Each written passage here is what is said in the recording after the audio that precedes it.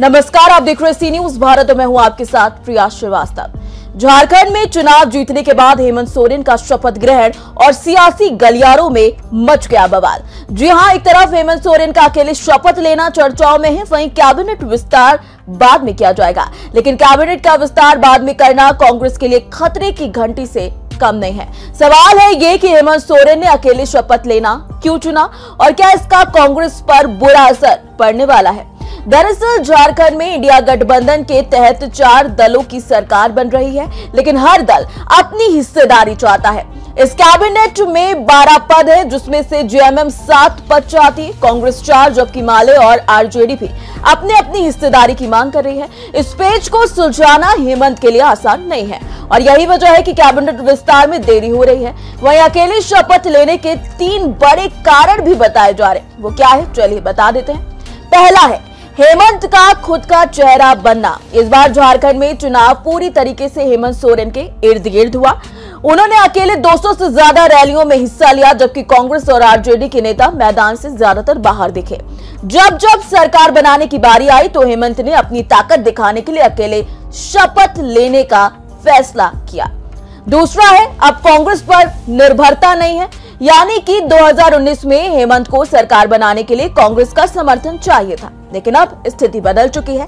इस बार जेएमएम के पास चौतीस सीटें हैं और उसे माले और आरजेडी का भी समर्थन है। अब हेमंत सोरेन को कांग्रेस को ज़्यादा अहमियत नहीं देना पड़ रहा है और वो अपनी शर्तों पर सरकार चला सकते हैं। तीसरी वजह की बात करें तो वो है पोजीशन पर खींचतान दरअसल कांग्रेस ने डिप्टी सीएम का पद मांगा था, लेकिन हेमंत ने इसे सिरे से नकार दिया। कांग्रेस ने किसी विधायक का मंत्री बनाना भी जेएमएम के लिए आसान नहीं होगा, क्योंकि इससे कांग्रेस को नंबर दो की पोजीशन मिल सकती है। हेमंत इसे लेकर बेहद सतर्क है और चाहते हैं कि सत्ता की असल ताकत जेएमएम के हाथ में ही रहे। फ़िलहाल, झारखंड में कांग्रेस की हालत फ़िलहाल जम्मू कश्मीर जैसी लग रही है कि सरकार तो सहयोग से बन गई, मगर सरकार में हिस्सेदारी मिलनी मुश्किल है। हेमंत सोरेन के अकेले शपथ लेने से साफ़ है कि अब जेएमएम कांग्रेस से ज़्यादा ताकतवर हो गई है।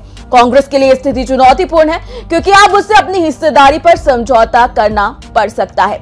कुल मिलाकर देखा जाए तो हेमंत सोरेन का अकेले शपथ लेना न केवल उनकी सियासी ताकत को दर्शा रहा है, बल्कि ये भी साबित करता है कि अब झारखंड में सत्ता की बागडोर पूरी तरीके से जेएमएम के हाथों में है। कांग्रेस की मुश्किलें बढ़ने वाली हैं, क्योंकि अब उसे अपनी हिस्सेदारी को लेकर समझौते की राह पर चलना पड़ेगा। हेमंत सोरेन ने साफ़ कर दिया है कि अब उनका रुख कांग्रेस के लिए पहले जैसा नहीं रहेगा। इस रणनीति से झारखंड की राजनीति में नए समीकरण बन सकते हैं, जो कांग्रेस के लिए टेंशन का कारण बनेगा।